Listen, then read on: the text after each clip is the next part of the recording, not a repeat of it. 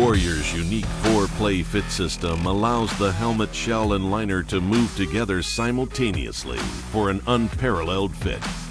Using the single dial at the rear of the helmet, the four-piece shell and liner converge, both front to back and side to side, at the same time, evenly distributing force around your skull to achieve a true 360-degree fit.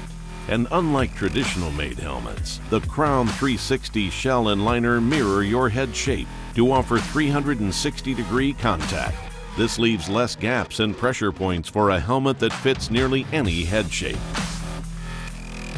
Manufactured as an injection molded three dimensional material, Warrior's unique Impax molded foam diffuses the constant low and medium impacts a player experiences during a game. Impax works together with EPP foam for high impacts and Comfort foam for fit stabilization to provide three layers of protection.